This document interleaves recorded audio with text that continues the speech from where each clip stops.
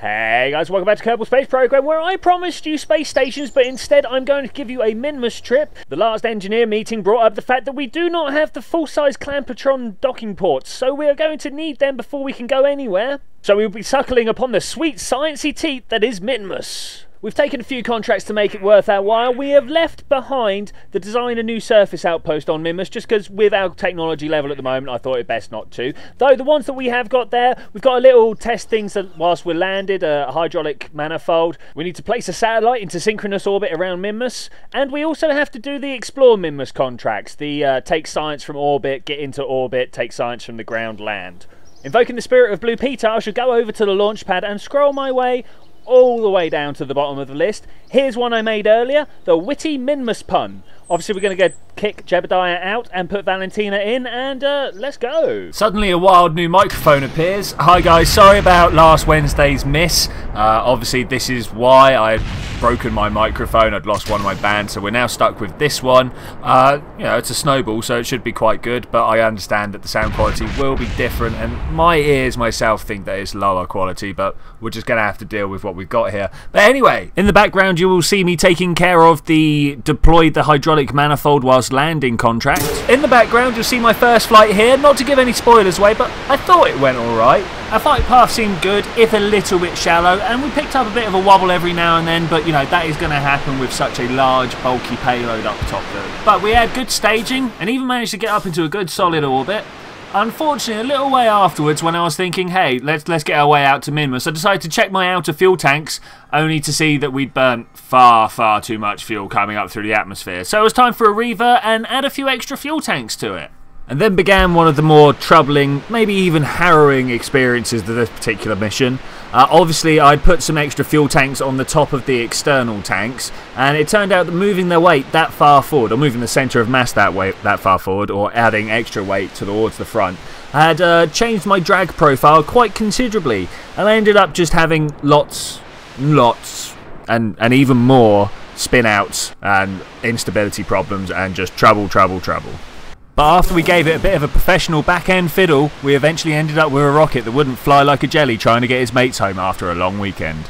This time the flight profile was almost spot on. We did have to take a little bit of SAS control at about 8 kilometres to make sure we hit the magic 45 degrees at 10 kilometre mark. Twas then a relatively simple matter to let these seven swivel engines burn through all the fuel in the external fuel tanks. Uh, we were pushing our way up to about 20 kilometres or so before we had to make our staging, before we let the one single swivel engine that was left take over the main job of getting us up to an apoapsis. I was aiming to go for around 70 kilometres or so, being mindful of the fact that the lower we are to the atmosphere, the higher we can get a both boost off of the Oberth effect, which means we save fuel in the long run. And of course, saving delta V is what spaceflight, well, efficient spaceflight is all about. So we're coming up to the top here. You can see that my apoapsis is about 73. I don't really want to push it up that high. And the best way to circularize your orbit without uh, climbing on apoapsis is of course to wait till you're as close as apoapsis before firing your engines and pushing up the periapsis.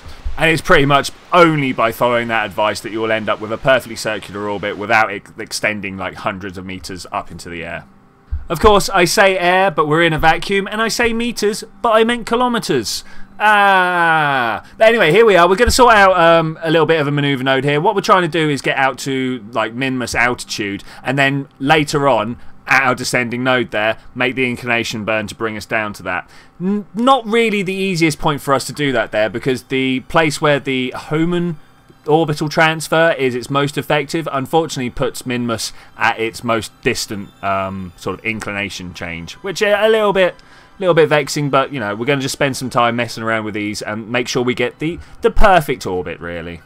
So, flying out to Minmus seems to be the best place to talk about this brand new microphone that I'm using. Uh, first off, sorry about the shifting quality. Obviously, I'm using this episode as kind of a, a, gauge, a sort of a trial and error process, trying to figure out what's the best place to have my microphone, what's the best like audio settings to add, uh, what what's the best way to use it all round. Um, I'm still struggling with it. If you guys have any tips or tricks, like please do let me know. I'm picking up a lot of echo on the microphone at the moment, or at least I feel like I am. Uh, I'm doing my best that I can to try and damp that down. I've got fabric up everywhere to try and help with that, but yeah, it's not not really an ideal scenario. Plus, I'm not used to a microphone that's just quite so sensitive as this. Uh, obviously, with my, my headset that I had, it was very much tucked away from my mouth, so like little things like blowing into the microphone and stuff like that didn't really make all that much difference.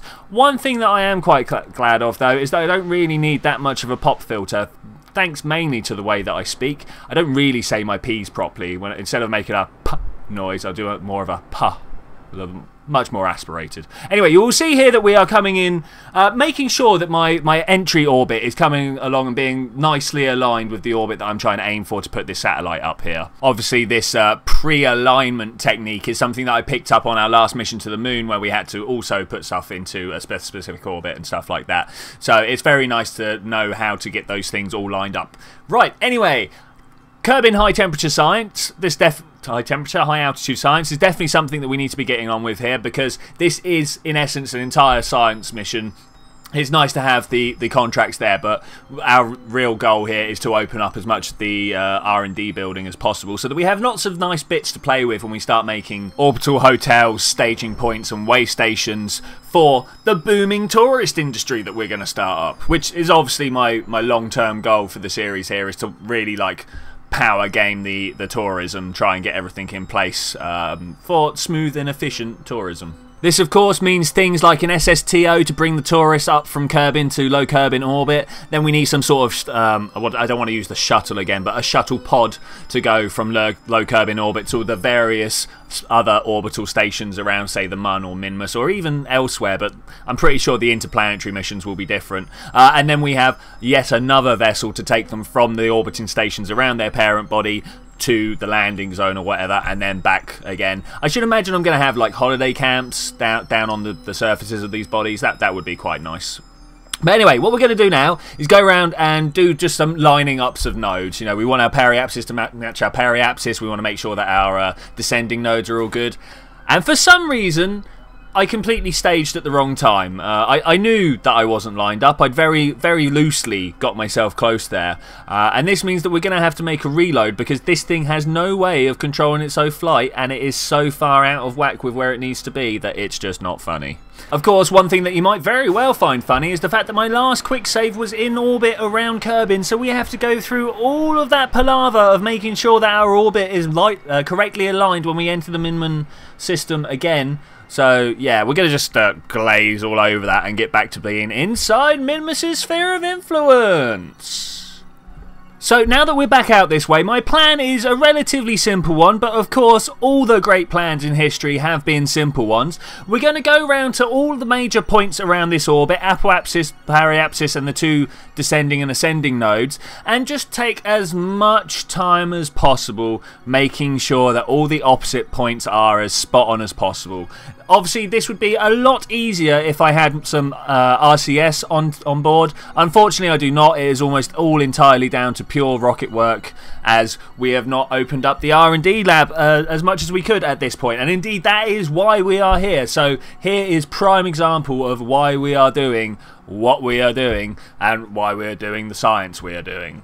We literally have one final adjustment to make to our orbit, and this is, of course, the inclination. Uh, thankfully, we are provided with uh, descending and ascending nodes on our target orbit here, so I can just see how close it is we need to get. And with the smallest application of rocket fuel, we indeed get ourselves down to like the most accurate representation of that target orbit as I could possibly get. We then make the release of the probe, and by looking in the contracts, we know we have done it. Yeah! And that roaring success only really leaves us with one thing left to do. That is, of course, play with this stack separator. I always love getting these random little bits of uh, debris that come off here. Uh, I think this is why I prefer the separator towards the uh, I don't even know what the other ones are called. The, the the ones that kind of separate but hold on to it. Yeah, I don't know. But uh, look, it's a little ring for us to play with in, in Zero G. Isn't that great? Anyway, back on with the mission. So, with our space junk safely deployed, it's time to get ourselves onto the dark side of the planet so that we can start working on our orbit on the light side of the planet so we can get a, a landing going down well. So, over to Periapsis, obviously on the dark side. We're going to push down towards retrograde so that we can bring our apoapsis, which very quickly becomes our periapsis, down to, I don't know, somewhere like three or four kilometres. I like to always skim down nice and low over the surface of Minmus because you don't really have like the big mountains like you have on the moon to worry about. And I've got to say, this uh, warp to here feature really is like unbelievably useful. When I first saw it, I was like, ah, oh, it'll just be like any other alarm clock system. But no, that being able to point at a point on your orbit, like just a little bit before your periapsis or whatever, is like unbelievably useful, as I've said. Anyway, now that we've got to that point, what I've got, what I've gone and done is all our low altitude science over Minmus. Uh, I, I, just picked a point where, like, well, as you can see, we are 17 kilometers off the surface. That really is quite close. And of course, we have our gen same general. Let's just like ping around off the ladders to uh, to be able to get back in there. Uh, what the thing I found to, that really does help if you find yourself in that situation is just give it a little bit of a nudge, and eventually it will orientate itself in the same direction that you are orientated, and you can grab hold of it relatively simply then. So once Valentina has successfully remounted the vessel, it's time to start thinking about where we're going to land. And I think on top of one of these mountains is probably going to be a good idea.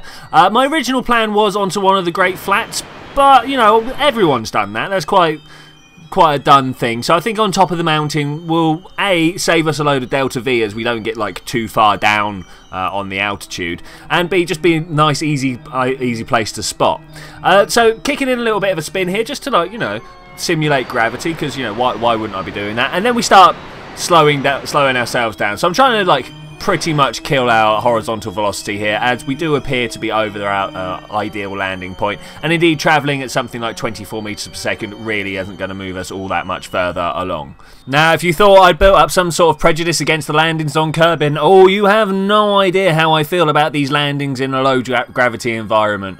Like, Valentina looks like she's enjoying herself, but believe me, I am not. We are just drifting down here at mere meters per second. I mean, our horizontal velocity is close on to like 15 meters per second, so the uh, orbital velocity of 30 meters per second means we're only really dropping at about 10 meters per second and oh that that is slow when you've got kilometers to go. That is really slow. But at least now we are dropping vertically and that is kind of one of the main points of making a good landing or at least here it is anyway. Uh, I, the slope that I, I appear to be landing towards is a little bit steeper than I was hoping for I was kind of aiming for the crest and in fact we've gone for the uh, the wayward side instead but as we are starting to make our final approach I think a slope like this is well within our realms of capabilities. Uh, indeed, we are now close enough to be able to reach out and touch the floor, and that is what we need to do. We need to reach out, touch the floor with our landing gear.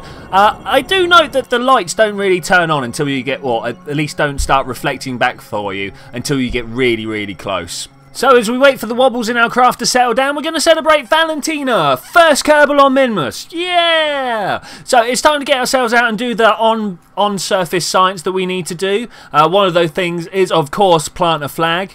Uh, I know that is not quite science, but it feels scientific to me. And after securing ourselves an EVA, we go and plant that actual flag, and we're going to call it not no, no, we're not. We're going to call it Minmus A, not the flattest landing zone, because it wasn't the flattest landing zone. And I'm, to be honest, I'm really quite surprised that our vessel hasn't turned over there. I then partake into what I consider to be a bit of a standard procedure when we're on Minmus. I'm going biome hopping, or at least I'm headed off towards one of the smaller flat areas, as this is what I believe to be well within my range of EVA. Uh, at least it would have been if I had got over this hill and spotted the flats. Unfortunately, it's actually all the way to the right there. So I kind of took a little detour and eventually sat down on the flats with uh, a little bit under half my fuel remaining. This, of course, immediately got alarm bells ringing. Uh, you'll see here when I'm just about to put my feet down, 1.8, something like that. Thankfully, because I'd taken such a bowleg journey out, I thought, no, this will probably be good enough. So, what I'm going to do is I'm going to jump up and I'm going to thrust towards it and use actually half the fuel that I have left. Well, actually, it was a little bit less than half. Uh, I had 1.8 and when I stopped thrusting, I was about 1.1 one. Uh, this was mainly so that when I got to the other end, I could do some manoeuvring around to hopefully try and bring myself down for uh, a perfectly flat landing. Uh, obviously, it always seems to take just a little bit more fuel to be precise than it does just to jump up and thrust. Uh, so coming up to the ridge line here, I thought this was probably a good idea to stop because we're going to start using fuel to try and keep ourselves up above ground level. And whilst right now it seems like this is going to be a good idea, I didn't really want to go like flying past at 20 meters per second and then have to wait for her to stop. Uh, so we're going to walk it. Well, I've saved a little bit of fuel, uh, fuel in my EVA pack so we can get up into the capsule. Uh, then we're just going to have to wait because this took a while. So so much time that I actually put some, a weight on my keyboard, walked off, made myself a cup of tea, did other British things, and then came back to it when I got close enough. Now, when I came here, I really was under the impression that it was just going to be a simple case of like fly away in front of the, the ladder, and, and grab hold of it. Unfortunately, for some reason, it wasn't going to be that simple. And after two attempts, I had run out of what little fuel reserves I had left in my uh, jetpack there. So that made things incredibly difficult. And I was back to the scenario where I was just trying to jump for a hatch that was a little bit too high up. I mean, I, I, found myself in this position before. I ended up having to make a bridge out of solar panels using the EVA, uh, using the Kerbal attachment system. It was an absolute mess. Took hours of my life and like gave me very little payback indeed. And I find myself in a very similar position right here. Uh, just jumping at it, hoping against hope that I just happened to land on the ring there. Uh, and there we go, that was the very last of my fuel pack gone. Uh, I was saving that just to make sure that I was pointing in the right direction and it failed. Not only did I fail to actually plant myself onto that ring, I have now got myself into a situation that is unstoppable. Uh, so I had found this on the moon. There is something about the female Kerbal model that makes her very, very susceptible to occasionally catching on the ground and pinging herself off with more inertia than she got in that than she had before she got into that situation. So we now find ourselves bouncing higher and higher as we build up more and more speed, and we are now already 200 meters away from where we started. I'm trying to time warp, see if we can do anything about that, just to try and speed this along because this is quite a quite a long process. Even though we are getting some amazing stunts like once again, Valentina showing why she is the Kerbal Gymnastics champion. Indeed, Valentina sees this as part of her training for this year's Kerbalympics. Uh, even though that the council have actually written to her and saying, Valentina, could you possibly not enter this year? We feel that you're out uh, outshining talent is really like putting the other girls off from joining, or the boys, indeed. This is not a sexist game, of course. And we would really like to uh, encourage more people to come in. And she's like, no, I am the best and I need to prove that I'm the best. Mainly because she's been hanging around with Jeb too much and she feels she needs to prove herself because he just keeps on putting himself forward and making everything much more difficult for everyone around them. And yeah, she just needs to fight back and just be like, no, look at me, I am the one. Look at my backflipping skills. So, as around here about a kilometre out, I've realised that we're probably not going to be able to stop at any point. The the floor seems to be getting a little bit steeper, and with all these model glitches that keep happening, all I can see is more and more speed adding on. And so my options are quick load or walk back. Went with the quick load. Unfortunately, this meant that none of the landed signs, or the flag, or the flight out to the Great Flats got saved because unfortunately my quick save was just after we landed. So we had to go around and redo all that. This time taking extra care to not slip, fall off our stuff or anything silly like that. Uh, we go and get the flag out after, of course, the EVA and call it exactly the same, just this time with caps lock enabled because, you know, we were flying around so we had caps lock enabled. And despite Valentina's protest that she really did want to go and explore this uh, little green rock, I was like, no, no, no, we're, we're actually going to be done now. We're going to try and get back with everything we've got on us. So let's figure out which way we want to go. Uh, taking the unusual step to burn westwards because this time that was the quickest way to point myself in a retrograde motion relative to the planet we're on. So, you know, that, that that's just a quick way of doing it. Uh, and waiting until I was at the perfect point to be able to start pushing myself out. And I thought this was possibly going to be uh, maybe sort of 20 or 30 degrees off of uh, parallel towards retrograde because obviously we had to do just a little bit more pushing. And if I use my, my maneuver maneuver nodes correctly, we can even stop uh, like wasting fuel on the whole inclination process and just keep ourselves pointing in the right direction.